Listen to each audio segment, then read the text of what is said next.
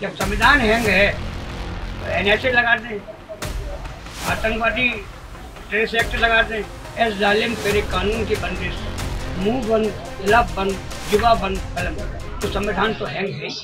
गरीब मजदूरों के, बिहारी मजदूरों के लिए आवाज़ उठाई है।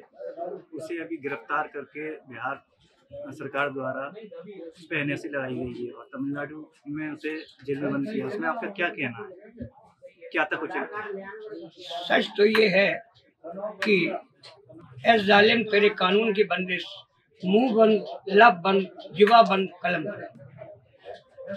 सुना था, देखा था कि तानाशाह हुआ करते भारत सरकार पर नक्सलिया चड्डीबाजों का कब्जा है तो संविधान तो हैंग है।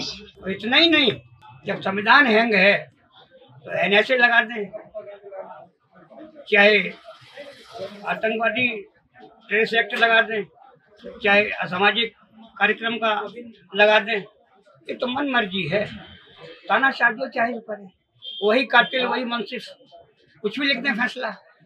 लेकिन जनतंत्र है ये, आने वाले चुनाव में इसको बहुत भारी असर पड़ेगा। इतना ही नहीं, इस तरीके की कार्रवाई करने वाली सरकारें, चाहे वो प्रदेश की हों, चाहे किसी देश की हों उनका हिसाब हिटलर मुसलिनी तरह हुआ है। निश्चित तौर पे लोकतंत्र में बेआबाज लाठी बूट की होती है उसका जवाब ज़रूर मिलेगा। गरीब मजदूरों के बिहारी मजदूरों के लिए आवाज़ उठाई है उसे अभी गिरफ़्तार करके बिहार सरकार द्वारा उस पर एन लगाई गई है और तमिलनाडु में उसे जेल में बंद किया। उसमें आपका क्या कहना है? क्या तक उचित सच तो ये है कि एस जालिम तेरे कानून की बंदिश मुँह बंद लब बंद जुबा बंद, कलम सुना था, देखा था कि तानाशाह हुआ करते भारत सरकार पर नक्सलिया, चड्डीबाजों का कब्जा है तो संविधान तो हैंग है। और इतना ही नहीं, जब संविधान हैंग है तो एनएसए लगा दें।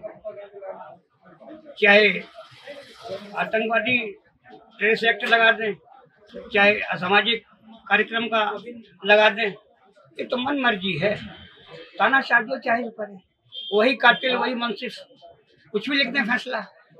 लेकिन जनतंत्र है ये आने वाले चुनाव में इसको बहुत भारी असर पड़ेगा। इतना ही नहीं।